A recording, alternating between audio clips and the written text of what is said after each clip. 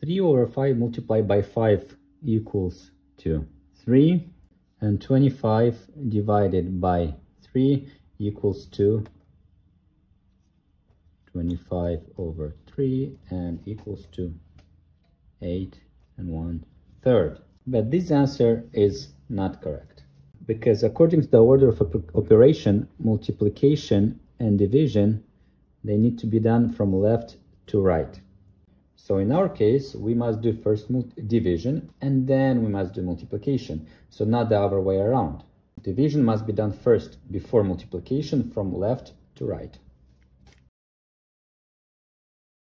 We have 25 divided by 3 over 5. To, to do this, the easiest way is to remember the KCF rule, which means keep the first. So we keep the 25, change the sign, we change it over 2 multiplication and flip the number. So we get 5 over 3. So keep first, change the sign and flip the third number and multiply by 5. So we get, we can put all to one numerator.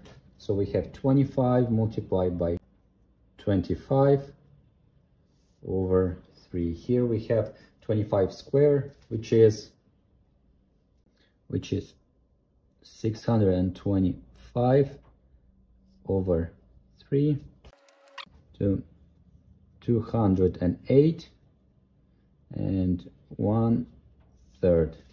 Thank you very much for watching. Please hit the like button and subscribe for more videos. Ciao, ciao.